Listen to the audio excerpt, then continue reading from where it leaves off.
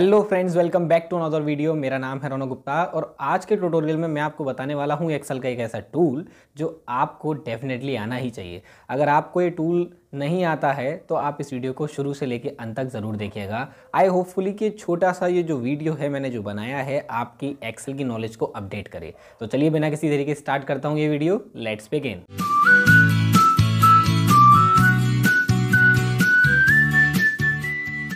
Freeze pane के tool को समझाने के लिए मैंने एक यहाँ पे डेटा बना के रखा हुआ है आप लोगों के लिए। मैं इस डेटा को पहले आपको समझा देता हूँ। यहाँ पे आप लोग देख पा रहे होंगे, इस पूरी एक रो में हेडिंग्स ही हेडिंग्स है। यहाँ पे आपका कुछ बड़ा डेटा है। इस डेटा में अगर कोई डेटा एंट्री ऑपरेटर वर्क करता है तो अगर वो स्क्रोल नेक भी डाउन करे तो उसकी हेडिंग्स गायब हो जाती हैं। वो भूल जाता है कि कौन सी हेडिंग पे डेटा फ़ीड हो रहा था। अगर वो राइट हैंड साइड में नेक भी शिफ्ट हो जाता है तो शिफ्ट होने के बाद उसका कॉलम भी गायब हो जाता है। अगर वो इस प्रॉब्लम से फेसिंग कर रहा है तो मैं इस टॉपिक को कवर करना चाहूँगा। ये कैसे टॉपिक है, ये कैसे फ्रीजिंग होगी, ये कैसे फिक्स होगा प्रॉब्लम तो मैं बताता हूँ, आपको सीधे पहले जाना होगा व्यू में। उसके बाद आपको जाना है सीधे फ्री स्पेन में। यहाँ पे आपको दिख रहा होगा फ्री स्पेन थोड़ा सा जूम कर देता हूँ। यहाँ फ्री स्पेन पे आपको जाने के बाद तीन ऑप्शन मिलेंगे। पहला ऑप्शन है फ्री स्पेन दूसरा ऑप्शन है फ्री स्टॉप रो तीसरा ऑप्शन है फ्रीज फ़र्स्ट कॉलम आपको ये तीनों ऑप्शन आने चाहिए। पहला कंडीशन हमारा ये था कि हमारी हेडिंग कहीं गायब नहीं होनी चाहिए। तो चलिए मैं पहली हेडिंग को सबसे पहले सेलेक्ट कर लूँगा। सेलेक्ट करने के बाद सीधे आपको फ्री स्पेन पे जाना है। फ्री स्पेन पे क्लिक करने के बाद आपको सेकंड ऑप्शन मिलेगा फ्री स्टॉप रो आप इस पर क्लिक करेंगे। क्लिक करने के बाद आप देख सकते हैं, पहली रो अपनी जगह से नहीं हिलने वाली। इस प्रकार से देखिए।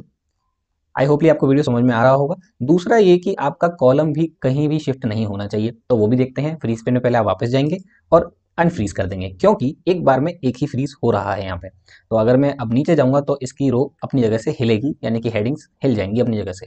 दूसरी चीज़ कि अगर मैं कॉलम चाहता हूँ फ्रीज करना तो आप फ़र्स्ट कॉलम को क्लिक करेंगे फ्रीज पेन पे वापस जाएँगे, और यहाँ थर्ड ऑप्शन मिलेगा आपको फ्रीज फ़र्स्ट कॉलम आप इस पर क्लिक करेंगे क्लिक करने के बाद आपको दिख रहा होगा कि राइट हैंड साइड में कितने भी चले जाओ, पर कॉलम अपनी जगह से टच से मच नहीं हो रहा।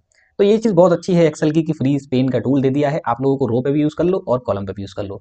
मुझे पता है आप लोगों के मन में एक डाउट आ रहा होगा कि, सर, अगर हम कॉलम फिक्स कर सकते हैं रो फिक्स कर सकते हैं, क्या ये एक साथ फिक्स नहीं कर सकते? तो जी, बिल्कुल कर सकते हैं आप लोग। सबसे पहले आपको कॉलम यानी कि ए और रो यानी कि वन इसका ये देखना होगा कि पहला सेल किस पे डिपेंडेंट है। जैसे कि वन रो और ए कॉलम है, इसका पहला सेल है बी टू क्योंकि ये रो में आ जाएगा और ये कॉलम में आ जाएगा। तो आप होंडा का जो सेल एड्रेस देख रहे हैं, जिसका सेल एड्रेस है बी टू इसको आप फिक्स करेंगे। आप फ्री स्पेन पे जाएँगे अनफ्री स्पेन करेंगे पहले और उसको दोबारा से फ्री स्पेन पे क्लिक कर देंगे। बस नीचे नहीं जाना, ना आपको टॉप रो ना कॉलम पे, सीधे आपको फ्री स्पेन पे क्लिक करना है। बस आपका काम हो गया। आप कितना भी नीचे चले जाइए रो आपकी जगह से नहीं हिलने वाली। आप राइट में कितना भी चले जाइए, आपका कॉलम नहीं हिलने वाला। तो यही है सबसे best trick freeze pane Excel की।